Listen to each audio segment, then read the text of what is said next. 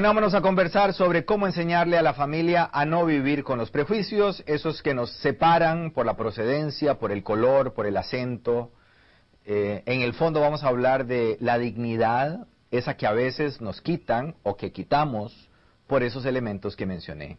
Sixto Porras, director del programa Enfoque a la Familia, conferencista, está esta mañana aquí en Buen Día. Hola Sixto, ¿cómo estás? Muy bien, gracias a Dios. Gusto saludarte. Igualmente. Sixto, para comenzar directamente en el tema, un padre o madre con prejuicios, ¿qué clase de hijos cría? En primer lugar, va a crear un hijo con un sentimiento de inferioridad o de superioridad, creando una distancia con el resto de las personas, o menospreciándolas o haciéndose sentir superior, rechazando a aquellas personas eh, por el color de su piel, por la posición económica, por el lugar donde viven, y nosotros tenemos que entrenar a nuestros hijos porque lo van a enfrentar. En algún momento, Edgar, lo van a enfrentar. No por ellos, sino por los prejuicios que otras personas puedan tener. Por ejemplo, si un latino emigra a Estados Unidos o a Europa, tiene que prepararse porque podría enfrentar eh, cierto prejuicio y tiene que saber quién es. Y esto es lo más importante, que nosotros empoderemos a nuestros hijos. Hay una época crítica, difícil, que es la escuela, Edgar. No sé cómo la pasamos, pero la escuela es el momento donde los sobrenombres abundan. El gordo, el feo, el flaco, el aquello que te va a llenar de un sentimiento de inferioridad y te, golpea, ¿no? Eh, comenté a un grupo de ejecutivos la semana pasada que venía al programa a hablar de esto, que por cierto envío un saludo a, a los de INCOP que estuve, me pidieron que los saludara, ¿verdad? En Punta Arenas estuve con todos ustedes, la pasé muy bien y me comí un super churchill ahí en, Punta Arenas, riquísimo. Eh, este ejecutivo de otra empresa me habló al final de la charla y me dijo, yo soy de X ciudad de Costa Rica, dice. Mi profesor me dijo que yo iba a ser un fracasado porque era tonto. Y eso me llegó al corazón, pero no sé qué significaba yo para mi profesor que se lo dijo a mis papás. Oiga, prepárense porque este muchacho nunca va a lograr nada. Dios mío, él con sus ojos mojados me dijo, hoy yo soy un ejecutivo bancario y estoy aquí. Lo logré contra todo aquello que dijo aquella persona que me hirió y marcó mi corazón. No era fácil porque era simplemente un niño. Eh, Sixto, vos decís que uno puede criar hijos o con superioridad o con inferioridad. Con sentimientos. Con sentimientos. Ok.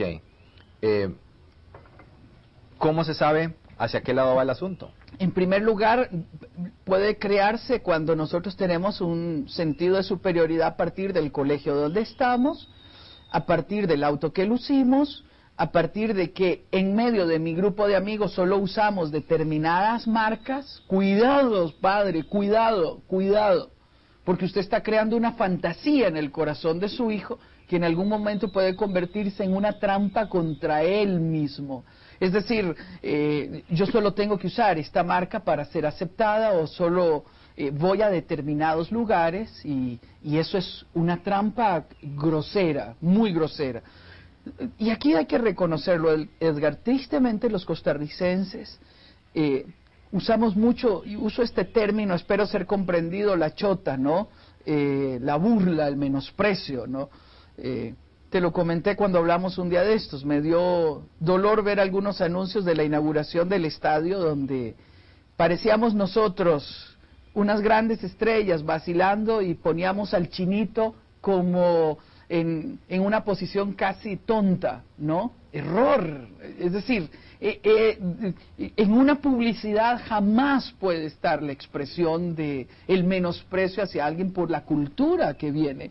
Eh, y eso es incorrecto porque no... A mí me parece que eso sucede mucho acá en los chistes, en, en la publicidad. En otros países eso es prácticamente una, un delito. Eso es un delito. Exactamente, eso es un delito. Y, disculpe que use un ejemplo eh, que a mí me causó una impresión. No estoy acusando, no estoy diciendo que es. Yo estoy diciendo a mí me causó esa impresión. Y, me dio vergüenza. Es decir, yo no, no puedo hacer sentir a nadie mal. aquí, este es un país para mí muy cargado de prejuicios. Exactamente. Te lo, te lo digo como guanacasteco, ¿verdad?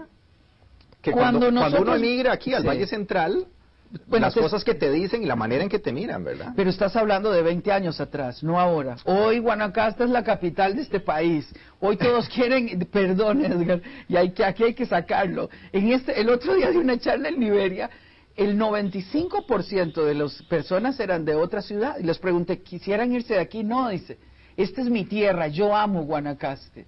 Es, es nuestro boom, es un momento, pero hace 15, 20 años cuando veníamos con acento acá a la universidad, decir ser guanacasteco, yo escuché algunos compañeros en la universidad donde profesores se burlaban de los guanacastecos, eh, menospreciándolos como tontos o, poco capaces. Y lo decían públicamente. En un aula universitaria, un profesor sacando su prejuicio, ¿no?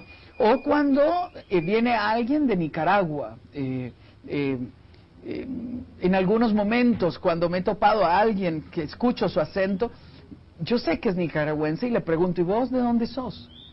Y puedo ver cómo se sonroja y me da dolor. Y lo único que quiero decirle era, mi mamá era de Nicaragua. Eh, y es honroso ser de esta patria hermosa y bella. No tiene nada de malo. Pero me da dolor que alguien cuando se relaciona con los costarricenses se relaciona con miedo al rechazo por el prejuicio erróneo con el que hemos sido educados y tenemos que detenerlo. ¿Qué clase de persona es la que crece con prejuicios, Sixto? Una persona complejada, eh, principalmente transmitido por sus padres. Eh, alguien que viene de una necesidad, alcanza un nivel económico y no quiere parecerse a nada de lo que un día tuvo, entonces genera una apariencia para vivir de la apariencia. Eh, y eso genera un prejuicio. Eh, el color de nuestra piel, cuando, o por nuestro acento, por nuestra etnia, o por nuestra nacionalidad, este, tenemos vergüenza de ser nosotros, eh, porque los demás generan un sobrenombre, o me humillan, o me ridiculizan, o me subestiman. Y lo importante es entender, Edgar, que todos somos iguales delante de los ojos de Dios, delante de los demás, y que el valor que nosotros tenemos, aquí entro a la parte propositiva, no puede dármela otra persona. El valor que yo tengo, tengo que entender que me lo doy yo mismo porque soy la creación hermosa de Dios y tengo que verme de esa manera. Soy la persona correcta en el tiempo correcto. Bueno, eso, eso habla. ¿Verdad? ¿Quién me la otorga? ¿Quién me lo otorga? eso te iba a preguntar. Eh, hay gente que le da el derecho a los demás de que manejen su dignidad. Sí, y eso es un error. eso es muy propio, digamos, del niño que busca aceptación, ser parte del grupo y entonces permite que los demás eh, le acepten y tiene obsequia cosas, ¿no? Y trae obsequios. Yo quiero decirte que en algún momento todos hemos comprado la dignidad a partir de obsequios y de favores con tal de ser aceptado en determinado grupo. Pero eso está bien cuando usted es niño, cuando usted eh, no sabe cuánto vale. Y aquí nosotros los padres tenemos que criar a nuestros hijos con una altísima dignidad que ellos se sientan honrados de ser las personas que son, de dónde vienen, cuente la historia, que ellos se sientan privilegiados de su etnia, que ellos se sientan bien con ellos mismos, pero nunca con un sentimiento de superioridad. El otro elemento que estamos mencionando, Edgar, y que es, y que es fundamental que nosotros lo entendamos muy, muy claro, es que tenemos que aprender a convivir en un mundo donde todos inmigramos. O sea, eh, todos somos extranjeros, vinimos de algún otro lugar y llegamos a un lugar. Y tenemos que aprender a vivir con dignidad y a tratar a los demás con dignidad, Edgar. Sí, en realidad los únicos que pueden decir que son autóctonos de acá son los aborígenes. ¿Y quiénes son los más menospreciados y los que tienen que superar el prejuicio producto de que los extranjeros los hicieron sentir extranjeros en su propia tierra? Los indígenas. Injusto, injusto, no es correcto. No es correcto. Nosotros tenemos que aprender a, a tratar a todos los demás con dignidad. Te doy un ejemplo. Cuentan que un grupo de ganaderos fueron a determinado lugar a una exposición. El hijo, con algunos ínfulas o sentimientos, trata con menosprecio a alguien que trata de llegar a comprar un ganado. Por ahí el padre, lleno de sabiduría, viendo a su muchacho menospreciar al caballero descalzo y de chonete arriba, eh, se le acerca para oír su inquietud y dice, veo que usted observa el ganado. Dice, sí, dice, y le he preguntado a su hijo que cuánto cuesta, pero me dice que es muy caro. Entonces el padre, con ese sentimiento sabio, con esa identificación del ser humano, lo toma de la mano, le explica, le cuenta de qué es la raza, cuánto vale, y le, le pregunta, ¿quiere usted llevarse uno? Dice, bueno, dice uno no, dice todos. Y saca el, el chonete y paga de contado. Es decir, jamás usted puede menospreciar a alguien por su apariencia física, por el tono de su voz, por su color de piel. Usted no sabe con quién habla. yo creo que todo el mundo recordará eh, a la famosa cantante británica que llegó al, a, ¿cómo se llama? Al, concurso este en Inglaterra y que impresionó a todos con su voz. Exacto. Es, es, el, digamos, el ejemplo más eh, real que tenemos eh, en este momento gracias a los medios de comunicación, ¿verdad? a lo e- masivo que se hizo. Por eso es que nosotros debemos de preparar a nuestros hijos en varias direcciones, Edgar. En primer lugar, tenemos que prepararlos para enfrentar el rechazo, para enfrentar la burla, enfrentar el menosprecio. Okay. antes de, entrar a eso, 905-296-2170, estamos hablando hoy con Sixto Porras sobre los prejuicios y de alguna manera sobre la dignidad, cómo se le enseña a los hijos a vivir con dignidad y a no vivir con prejuicios. Ahí está el número de teléfono en pantalla para que participe con nosotros.